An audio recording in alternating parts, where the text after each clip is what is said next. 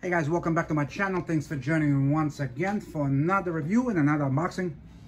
Today is coming from Jazz Inc Dioramas. This is uh, Batman vs Superman or Justice League Batmobile. This is a 1 in 12 scale, not 1 in 6. 1 in 6 is a lot bigger than this one. And it's also a lot pricier. Uh, I got this second hand. This is not brand new. Uh, at one point, these were sold out. So I happened to find somebody that was selling it uh, on Facebook. Uh, uh, the crazy part is as soon as I bought it from him, uh, they had a new batch in stock from Jazz Inc. And that's that. Let's get down to the unboxing. So a few things I can tell you. Uh, removing the styrofoam from that uh, collar box is a pain in the ass because the collar box is very fragile and if you grab it or pull it the wrong way, it's going to start ripping. So you have to let it try, drop down a bit and slowly, slowly pull it out. It's a pain in the fucking ass.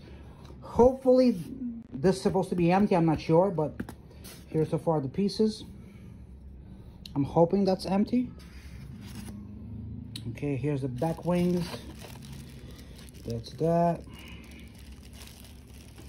We're gonna remove that and we are going to put that back over. Here's another back wing. Okay, that's that. I'm trying to figure out how to just put it together the easy way.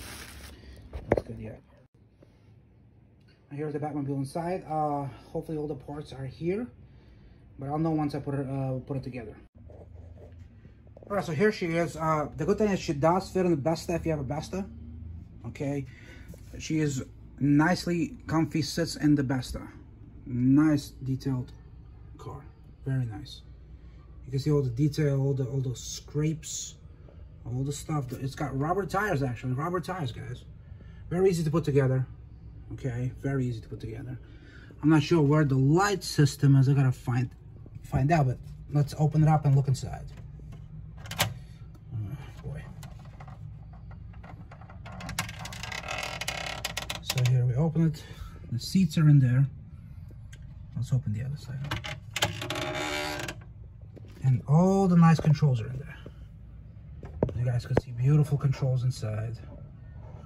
Very nice detail car but these go these retail for about 400 uh, on their website. But it's definitely definitely a nice nice uh, card you you have uh, to have. That's that. Very nice car. Very very beautiful. I'm gonna figure out how the lights work. I'm not sure how they work, but this does light up. Again, hope you enjoyed the video. It's a quick video, nothing crazy. Definitely recommend it. Rate, comment, and subscribe. Have a good one.